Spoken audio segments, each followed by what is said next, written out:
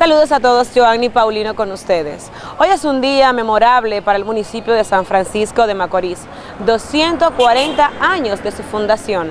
Y hoy, en una recopilación de imágenes, recordamos los momentos históricos y la trascendencia de nuestro municipio.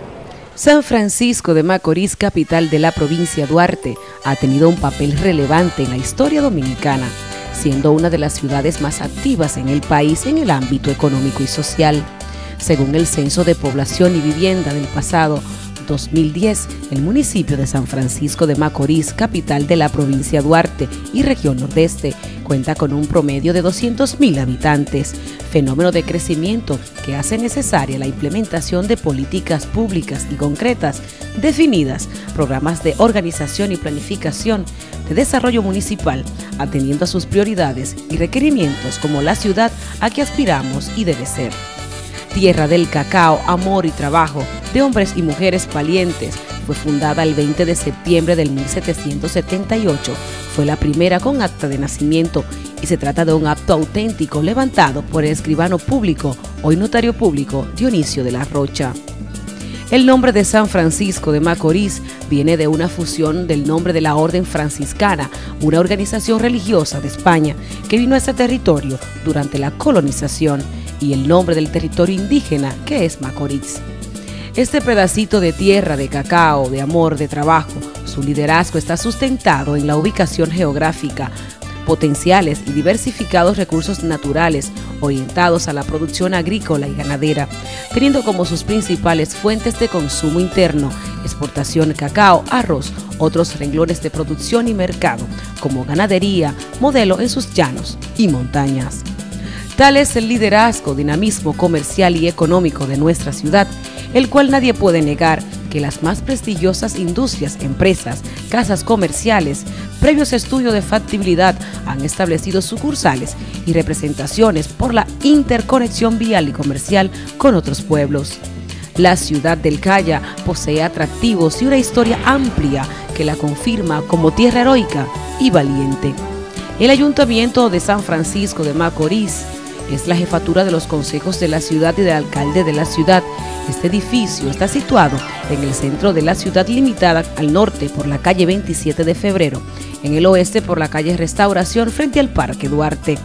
Construido en 1945 por el ingeniero mocano Enrique Arturo Curiel Rojas, la sirena municipal o llamada sirena del ayuntamiento o sirena de los bomberos fue instalada el 27 de febrero de 1950 en el Palacio del Ayuntamiento Municipal.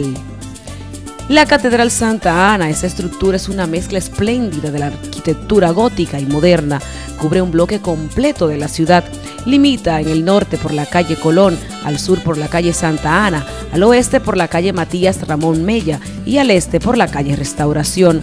Su primera reinauguración fue en el 2001 y la segunda en el 2016.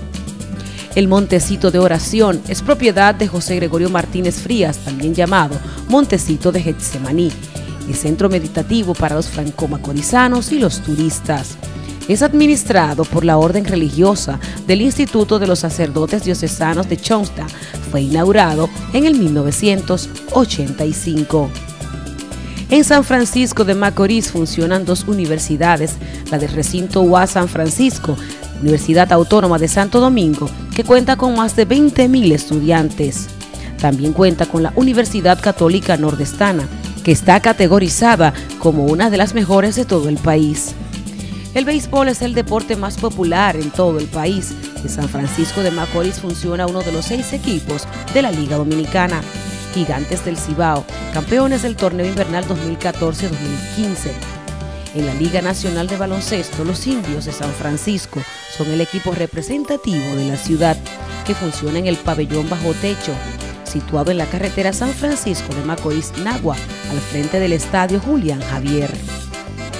Un palacio de justicia con el nombre de Ezequiel González, un comando noreste de la Policía Nacional, el Parque Duarte, que se encuentra en el centro de la ciudad, frente al Palacio Municipal, el Hotel Líbano y el Club de Esperanza.